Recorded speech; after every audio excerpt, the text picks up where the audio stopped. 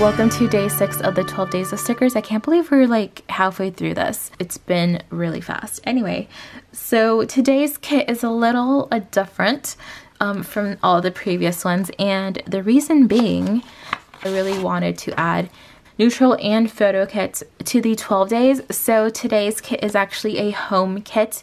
Um, perfect for office or whenever you need to work on anything or at home or you know just kind of like a lazy Saturday kit. I could have also named this easily lazy Saturday but I just called it the home kit and it's kind of like a warm tone as well. This is what the kit looks like. So we have all of these pages plus more. If you ordered the other sizes or the extra a la carte sheets, you can order different ones. And yes, this kit is still available or these kits are still available if you have seen the past few days in the shop through the end of December. So also today's 12 days of deals is also in the description if you have and seen that already um, and you can shop a deal every day for the for the next uh, well i guess the next six days but um, those will go up at noon and they end at noon the following day today's deal ends tomorrow at noon and the following deal goes up at noon so